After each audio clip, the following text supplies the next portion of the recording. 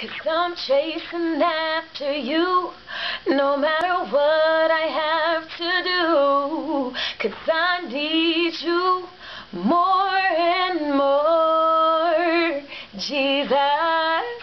Hey there, Hair Journey Divas.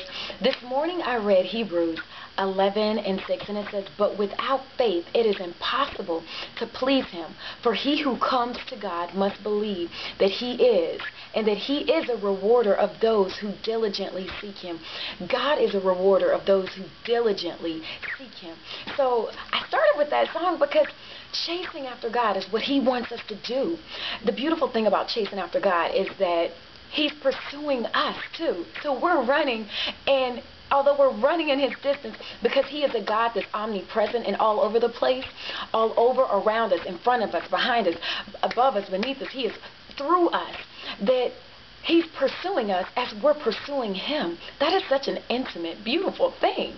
Ladies, while we are on this hair journey, as we lock our gaze on the Lord, as we pursue him, as we sow our prayers into other women, the Lord will increase because He's through us, in us. He's chasing after us, and He desires for us to diligently seek Him. In Psalms, it says, Delight yourself in Him, and He will give you the desires of your heart. So as you chase after Him, as you diligently seek Him, the Lord will begin to be like, Bam!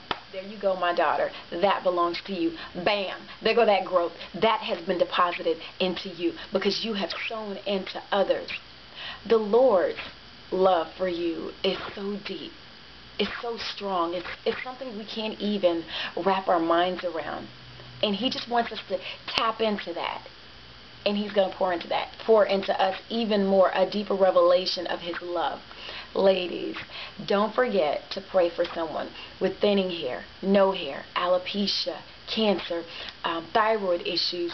Even if you see someone in the store and you don't even have to know their name, just deposit a prayer in the atmosphere on their part, um, on their behalf. Just something as simple as, God, the woman in this behind me as I'm looking in my rearview mirror, her hair is thinning. Lord, will you just increase, increase growth of her hair and increase um, anything that she is in need of. You know her needs, Lord and then uh, look at the green light and move forward. okay, ladies.